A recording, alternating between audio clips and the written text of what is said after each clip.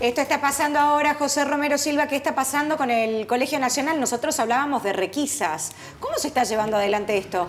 Bueno, mira, nosotros acabamos de llegar, hemos visto una fila de estudiantes que estaban para ingresar aquí a la escuela, eh, a la Escuela Nacional. Vamos a ver si efectivamente está sucediendo esto de requisas o no. Si vemos eh, a jóvenes que están en las puertas y dos policías que están acá.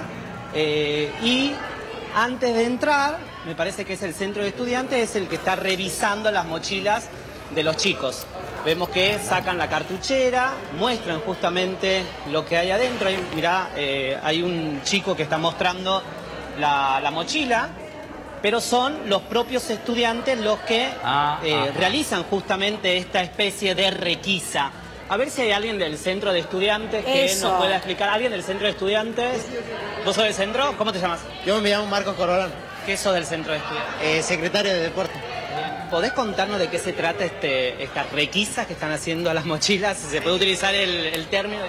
Sí, eh, lo que estamos haciendo, estamos revisando las mochilas principalmente porque se difundió un mensaje por un grupo que supuestamente eh, iba a haber una pelea entre la Comercio 1 y el Nacional, o el Nacional contra la Normal, y estábamos revisando a los chicos para ver si traían algo, un objeto filoso, una punta, algo así. ¿Fueron avalados ustedes por las autoridades de la escuela? ¿Ustedes les propusieron esto? Sí, eh, principalmente nosotros les propusimos y obviamente también pedimos permiso para, para revisar, digamos, y y bueno, y revisamos acá todo esto.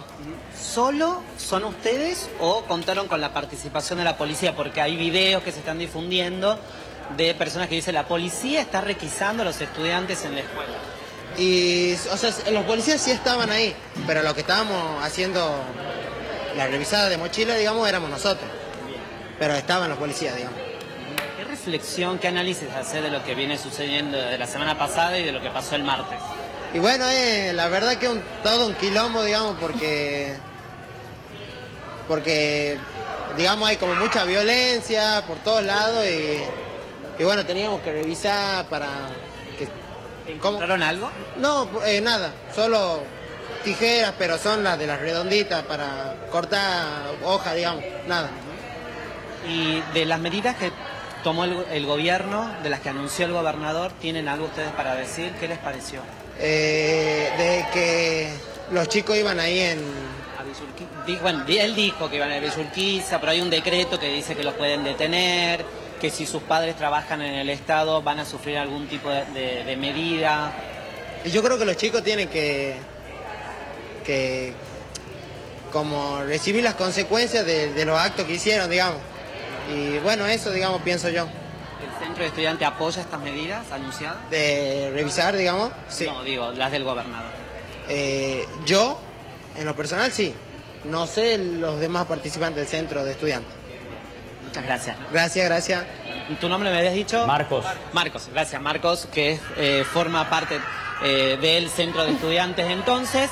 Pero la confirmación entonces, Caro, por algo que nos habían dicho desde temprano, ¿Había requisas? Sí, había requisas. ¿Quiénes hacían las requisas? El centro de estudiantes por motus propio. Cambia totalmente el panorama de lo que nosotros entendíamos que estaba sucediendo acá en el lugar. ¿eh? ¿eh? sí, muy bien la aclaración, José, porque el jefe de policía efectivamente decía, vamos a averiguar, no sabíamos de qué se trata, pero también es una manera, y es lo que te decía eh, el del centro de estudiantes, de despegarse, porque ellos habían mm. estado mencionados en distintos grupos de WhatsApp y de alguna manera quieren aclarar el panorama si es que en este colegio no tienen incidencia o no habían tenido participación. Digo, tiene que ver con eso también, ¿no?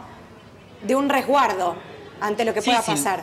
Sin lugar a duda, y involucrarse, que no es poco, Caro, en una situación como esta. Ayer la mamá planteaba que los padres no se estaban involucrando, que no iban a denunciar lo que había pasado, porque solamente, recordemos, hay tres denuncias, dos de ella y otra de un papá, por la información oficial que tenemos, y en este caso es los eh, propios estudiantes involucrándose en esto para que entre todos se busque la paz, que es lo que tanto eh, anhelan vecinos y la sociedad en su conjunto. Perfecto, José, nos quedamos con ese mensaje.